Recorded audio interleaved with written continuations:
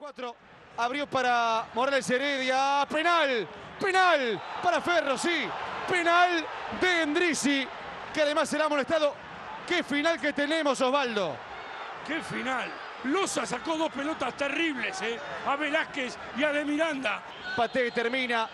Llega Correa. Correa. Chiarini. Chiarini es un arquero que vale un palo verde. Chiarini.